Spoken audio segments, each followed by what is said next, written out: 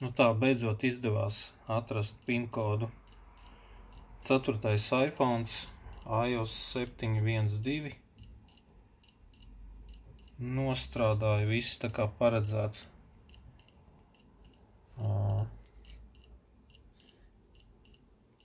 Ievadīsim kodu. Jā, nu ot. Tagad ir viss čotka tā kā vajag. Super.